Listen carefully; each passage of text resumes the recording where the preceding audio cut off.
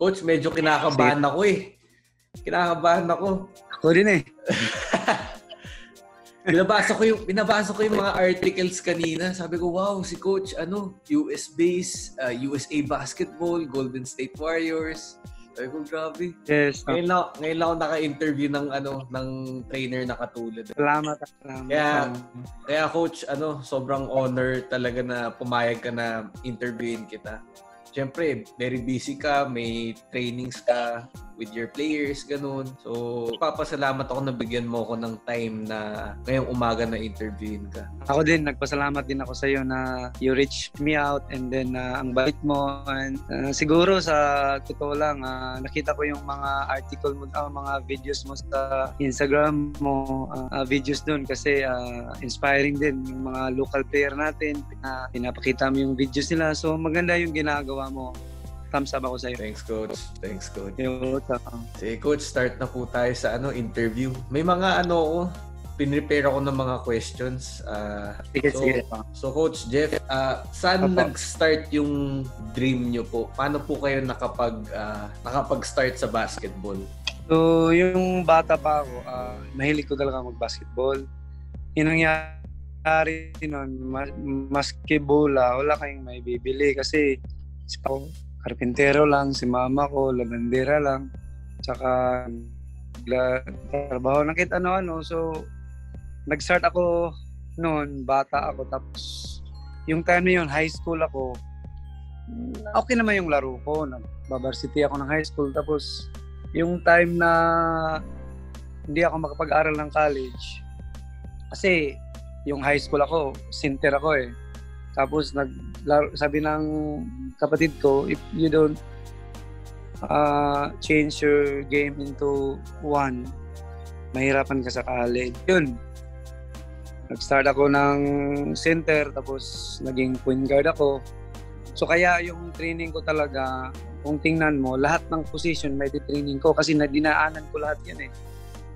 Tapos yung time na yun, yung start na yung uh, pag-skills ko, Di talaga ako, hindi ko sinasadya to. Nag-stop ako ng varsity kasi nag, nag-disband yung school namin, yung CTS. Tapos yung totoo, lumayas ako sa amin. Kasi ayaw ko yun sa lugar namin kasi binubuli-bully ako, magtitraining ako ng mga bata. Is, hindi ka naman PBA, hindi ka naman professional, ba't ka magtitraining? Pumunta ako ng Lapu-Lapu. Isang lungsod lang or another city. Siguro mga 15 minutes i-jeep mo or 20. Nagtambay ako sa basketball court doon tapos may basketball ano doon na uh, yung may PBA na nag-retired, may basketball clinic siya. Tapos doon ako nakatira sa basketball court eh. Kasi lumayas nga ako. Time na yon mag-dispatcher ako. Tapos magtuturo ng mga bata. Tapos uh, sabi ng uh, yung may-ari ng basketball clinic na ang galing mo pala magturo. Hindi ko nga alam yung basketball noon eh. Yung ano pagtuturo eh. Basta turo lang ako ng turo. Sabi niya, you have your potential trainer. Yun. Uh, ginawa niya akong head skills trainer sa basketball clinic niya. Tapos iniwa iwan niya lang niya ako kasi alam niya na kayang-kaya ko magtinig ng ako lang mag-isa, 50, 70 na bata. For 9 years, ng skills trainer ko, parang nawala yun sa mind ko eh na mag si skills pa ako, nag na ako. Nag-apply ako ng ano ng ng hotel kasi may Suisi Cañer College naman yung natapos ko, pwede naman ako maka-apply. Totally hindi na ako manood ng basketball.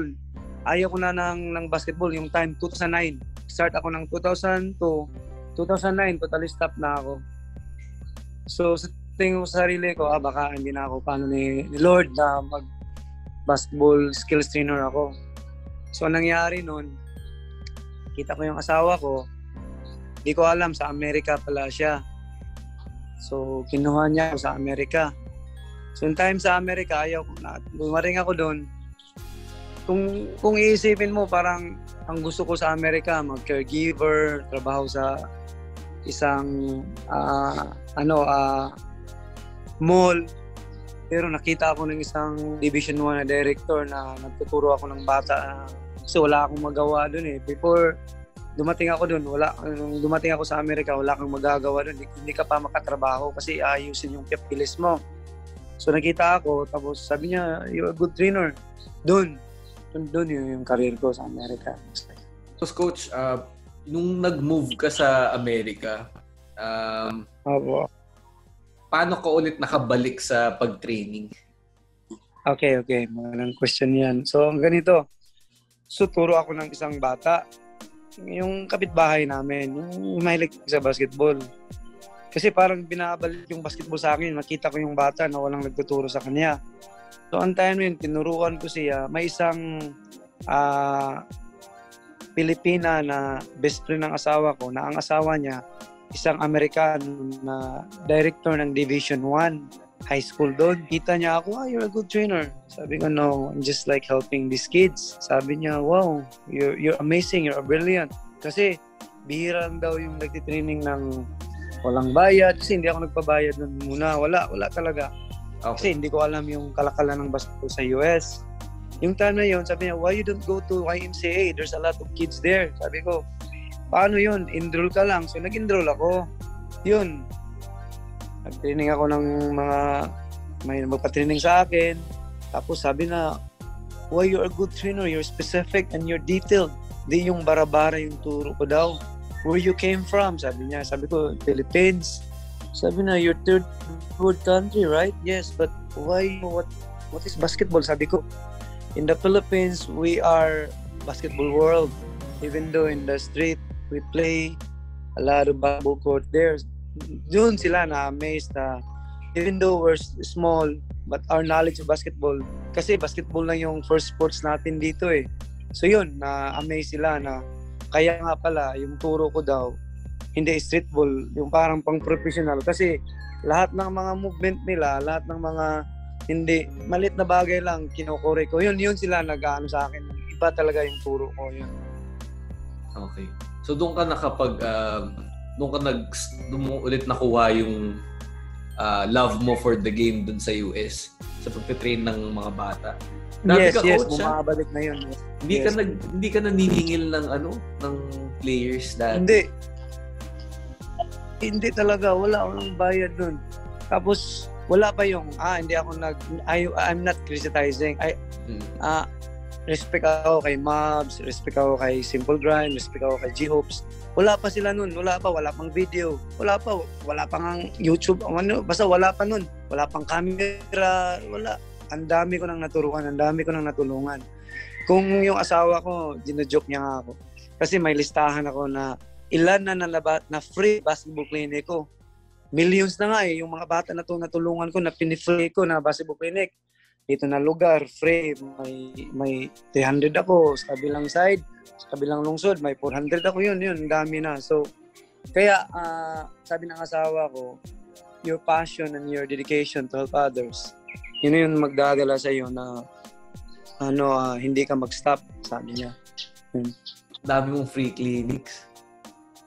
Oo nga eh. Hira yun, coach. Tas, uh, Hira talaga yun. Hindi ako naniningil talaga. Hindi ako naniningil. Kaya tanong mo sa mga players na na-training ko, hindi ako naniningil. Hindi talaga. Kasi in in the US, uh, ah, yung na-achieve ko naman na sahod, alam ko naman, okay na ako dun eh. So, ang iaano ko na lang na uh, itutulong ko na lang kung sino yung gusto magpatulong, ganun. Ayun. So, coach, from ano, training high school kids sa US. Yes, yes. And then um, yes. getting your USA basketball license. Tapos Golden State Warriors. Paano nangyari yun, coach? So, ang time na yon na uh, yung director pala ng uh, uh, Division 1 na kum- nakumpare ko na ngayon, siya yung nagano ng anak ko, si Tirish. Tinawagan niya yung Golden State. He said that there's a Asian guy ano, uh, ini-email na niya. The Asian guy. Uh, if you want to know him, and he's a good trainer from the Philippines. Eh, ini-email lang niya. Pero yung tao na yun, respected din yun kasi director ng Division 1 sa isang malaking skulahan sa Watsonville sa Amerika. So nag-reply ang Golden State. We need another one skills trainer for our camp.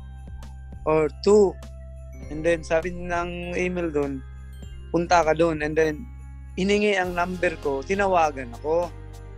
So pagtawag ng manager, eh baluktot talaga yung English ko, hindi ako marunong mag-English. Ang sabi ko, yes na lang, yes. Yes sir, yes sir, yes sir. Sabi ng asawa ko, ikaw na sabi ko asawa ko, ikaw na nga magkausap kasi mas marunong mag-English ang asawa ko. Yun pala, may, may ano ako, interview doon sa Santa Cruz Warriors pa doon. Di kami sa arena ng Golden State.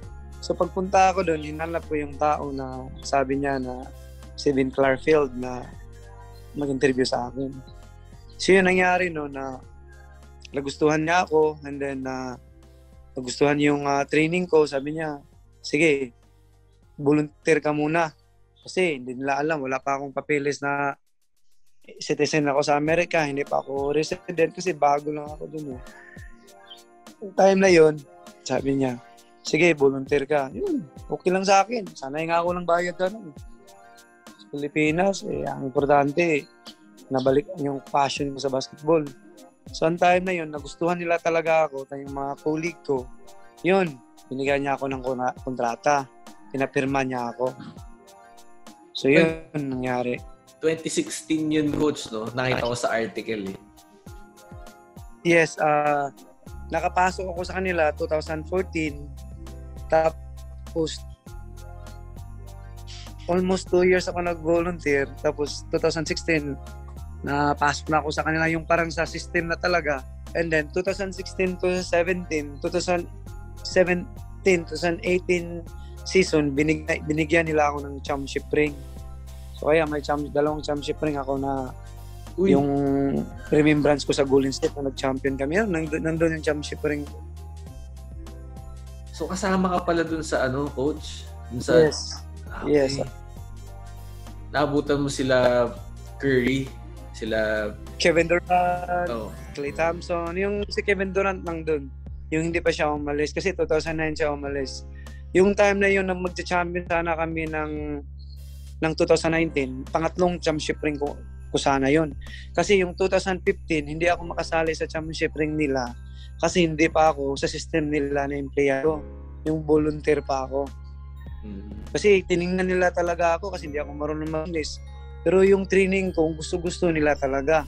Kasi iba talaga daw ako mag training ng mga bata, training ng players, ganun. Iba talaga, sabi nila. So yun, 2016 yun, nakapanga ako yun. Yung, yung